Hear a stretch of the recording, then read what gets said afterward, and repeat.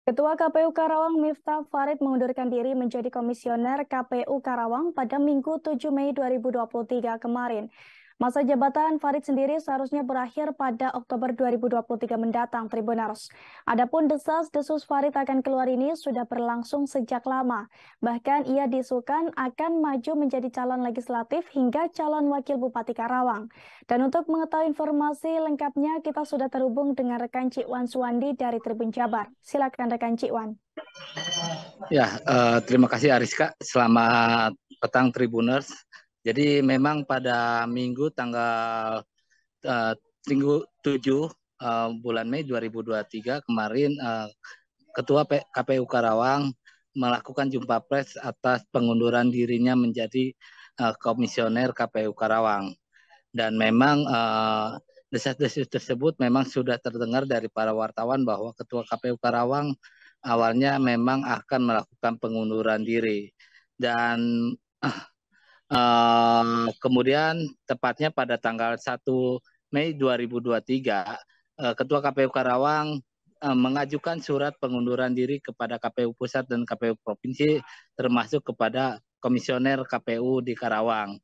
Dan memang uh, pengunduran diri ini memang masih dirasa sangat mengagetkan oleh para komisioner di KPU Karawang dengan mengundurkan dirinya uh, Farid sebagai Ketua KPU Karawang padahal masa jabatannya masih akan berlangsung hingga Oktober 2023.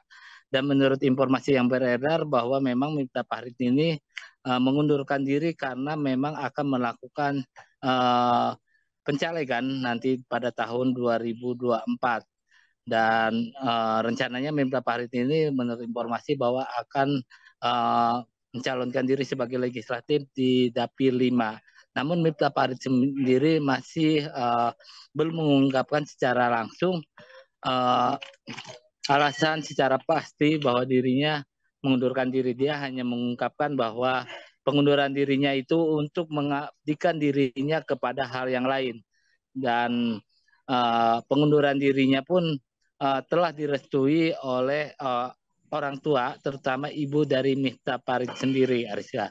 Dan Uh, kemudian uh, dari informasi dari Ketua Nasdem uh, Karawang Dian Pahrut Jaman bahwa memang uh, di, uh, Nasdem sendiri memang sudah mendengar bahwa Miftah Farid memang akan mencalonkan diri sebagai calon legislatif uh, di Dapil 5 dan partai yang akan ditujunya menurut informasi yang diterima oleh uh, Ketua DPD Nasdem Karawang ini adalah Partai Demokrat. Dan Ketua Partai Nasdem sendiri uh, mengungkapkan bahwa uh, pihak yang menerima secara secara partai pihaknya menerima keputusan Farid untuk uh, mengundurkan diri apa pun alasannya.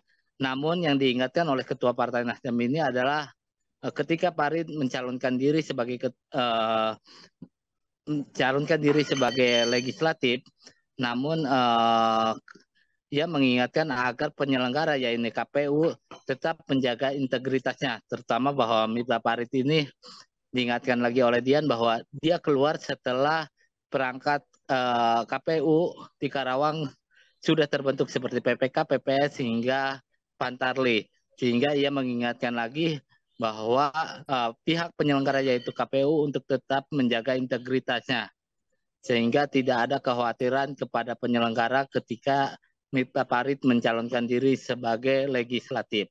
Demikian Ariska. Baik, terima kasih rekan Jiwan Suwandi atas laporan Anda dan selamat bertugas kembali.